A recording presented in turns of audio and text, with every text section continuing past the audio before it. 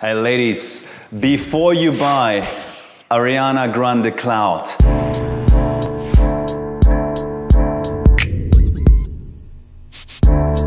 five things you must know.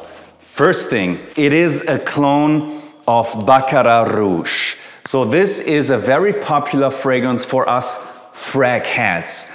People that spend $300, $400 for fragrances. And this just costs about $30, not 300, but 30. So for some people, it's almost to the degree of a sin. I mean, obviously, a sin is something different than buying a cheap fragrance, but if you clone fragrances, it's generally not nice, but for some people, it's a great substitute that don't want to spend that money for that expensive fragrance called Baccarat Rouge. Okay, so that's the first thing you should know. It's a clone of Baccarat Rouge. Second thing you should know, performance is incredible. The performance is not good, it's very good. Well, is it incredible? Incredible would mean 24 hours, like a Vanille West Indies by St. Bart West fragrances. This still is superior and better than 99% of all perfumes on the market. So if you're looking for a long-lasting fragrance, go for this one. Third thing you should know, it's highly, highly, highly synthetic. And by the way, the syntheticness helps this fragrance to last long. It smells like a warm skin, like a second skin, which keeps you nice and warm and cozy. It smells pretty synthetic, not like some natural tree or something you would find in nature. This does smell in a nice way, highly synthetic. Fourth thing you should know, one of the best price value fragrances for women. There are not many perfumes for women below $30 that are great.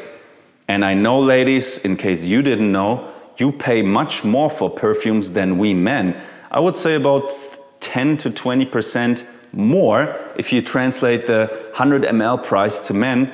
So if you have something that is that cheap, below $30 and good, and for women, that speaks highly of a perfume. So Check this one out if you don't want to spend a lot of money. Fourth thing you should know, a price value proposition is fantastic. Fifth and last thing, it's the best celebrity perfume for women currently. It's a bold thing to say because there are great perfumes like Rihanna, Rep Fleur is a great one, Britney Spears Fantasy is a great one. But this one, if you really dive into the material, is the best when it comes to complement factor, long lasting, price value, and it is a very, very great celebrity perfume. So, if you are a fan of Ariana Grande, 100% thumbs up. If you like Baccarat Rouge but you don't want to pay so much, 100%. If you are a man and you're looking for a unisex fragrance, 100% because as you know, Baccarat Rouge is a unisex fragrance and this smells like Baccarat Rouge. And if you don't want to spend so much money, ladies, on a perfume, buy this also. Super long lasting fragrance, big thumbs up, I love it. But it's a clone. We have to keep that in mind. Thank you for watching, ladies. I love you. Bye.